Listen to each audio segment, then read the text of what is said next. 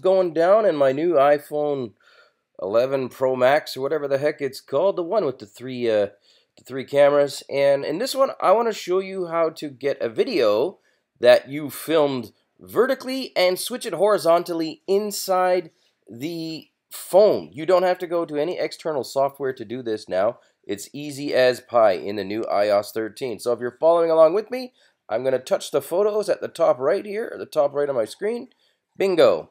Now, I just took a picture, or a video, pardon me, right here of my dogs. That's my dog, Kingston. Uh, he's a little bulldoggy, French-English bulldog, and then that's my brother's dog, Kimmy. Uh, they're playing around, and anyways, I did the video vertically on purpose because I'm going to move it to horizontal, which is much better for YouTube, for those of you that are YouTubers or Facebookers or whatever the hell. So to do that, you'll see at the top right of my screen, Edit is available.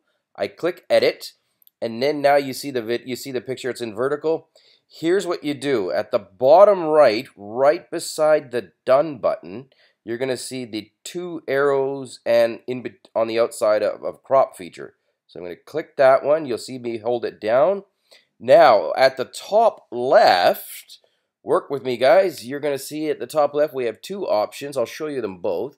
Uh, the one here this one which I'm holding down clicking that boom, it switched it upside down. So now it is horizontal, but it looks like it might be actually needing another flip or two.